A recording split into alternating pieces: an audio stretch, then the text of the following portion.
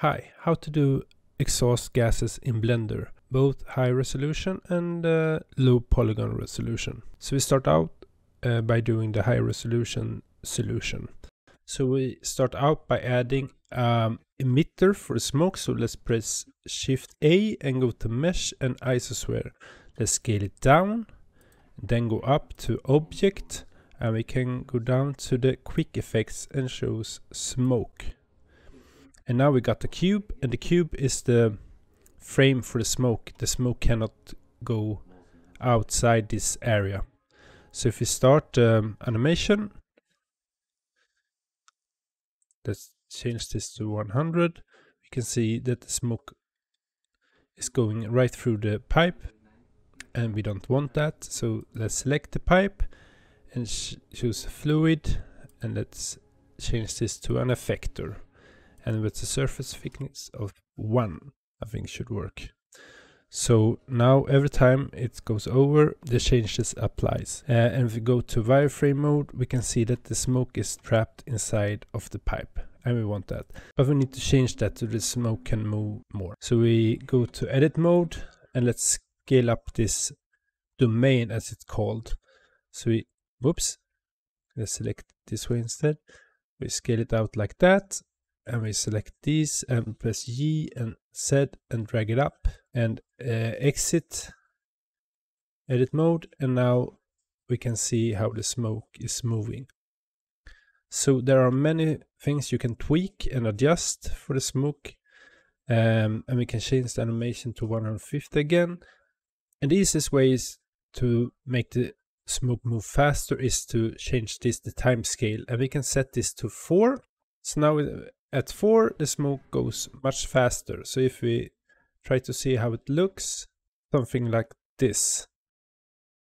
It looks quite right, but as I said, there is a lot of adjustment you can uh, change here. But what we want to do is to change the color of the smoke.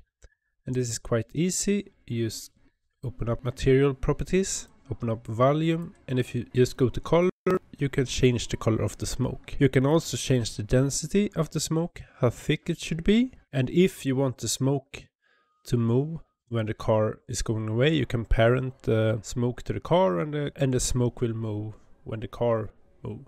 But another way is to add a force field. So if you press Shift A and we go down to force field and we can we want to have wind so if we rotate this wind around y, so r, y, uh, 90. So the strength from beginning is 1. So if you check the animation, you can see that it is really strong. So we can drag it down to maybe 0.2. And if we look upon the wind now, we can see it's much more like a breeze.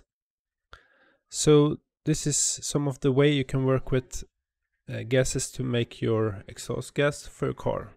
Okay, so let's do the low poly exhaust gases. So we start out by adding a plane, so Shift A, Mesh, Plane, rotate it around Y, 90 degrees, let's scale it down, something like that, and we go to the viewport shading mode. From here we go to particle properties, press the plus sign, and we have an emitter. If we start the animation now by pressing space, we can see all the particles is going down so let's change that. Let's go down to the field weights and change the gravitation to zero. So now there are no gravitation affecting the particles.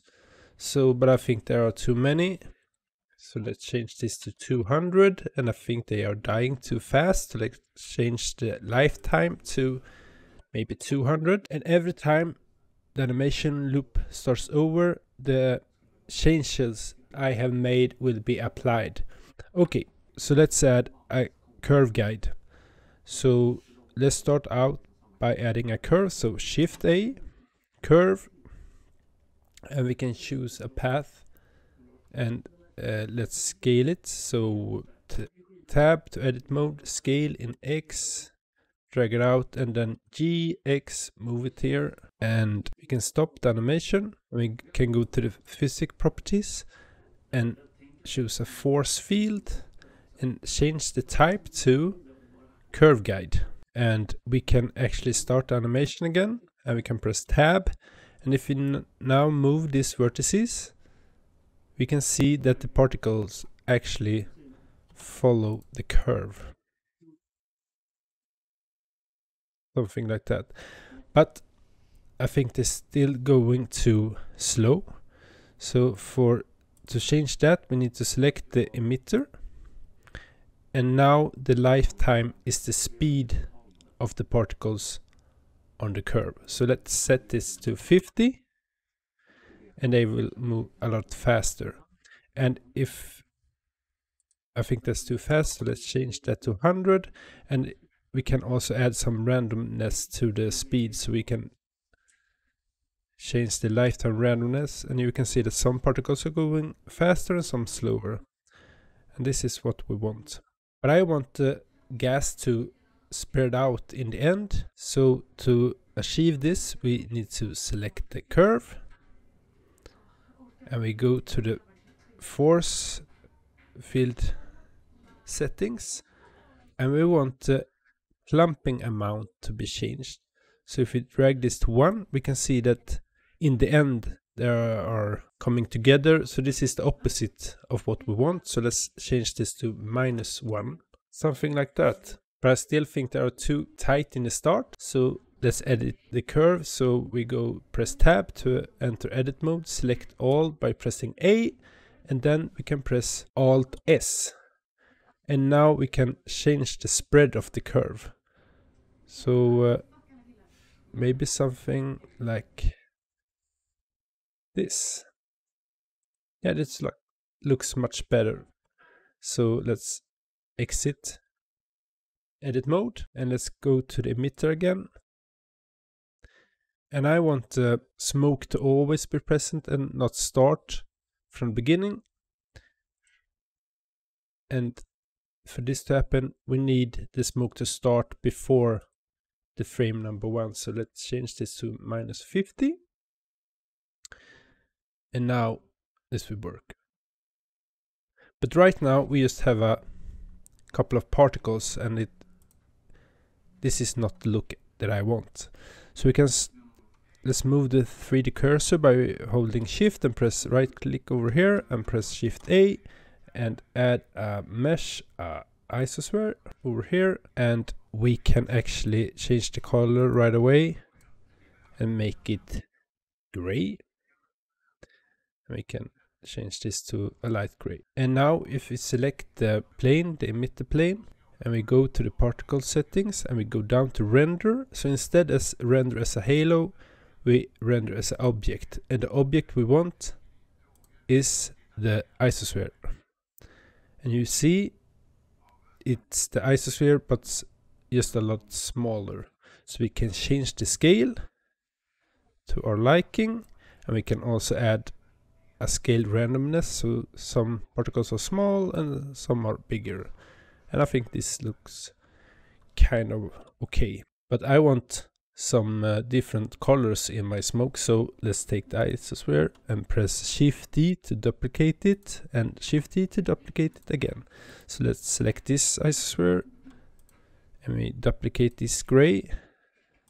Make it a little bit darker. And we take this and make another gray and make this even a little bit darker like that. And we select these three objects and we can press M to make a collection. Let's call this smoke. And we select our emitter plane again. And we go to our particle system. And instead of render as an object, we can now choose collection. And the collection we want to use as an emitter is the smoke. So now it works like that. And I want more smoke, so let's bump up this number to maybe 400. Yeah, that looks that looks great. But I also want some rotation because right now every object is just in the same rotation as it started. So to fix this, we need to scroll down, check rotation, and randomize the rotation. So let's run the animations to its end and now you can see the icosphere have gotten different rotation and this is great but I also want it to rotate while it's flying. And to achieve this we need to add some angular velocity. So let's bump this up to maybe 10 right now nothing happened. But if we press dynamic they all started to spin. And I think that's look quite cool. So this is how you do a low poly smoke exhaust gas. And if you like stuff like this please subscribe and uh, give this clip a like. Thanks for watching. Bye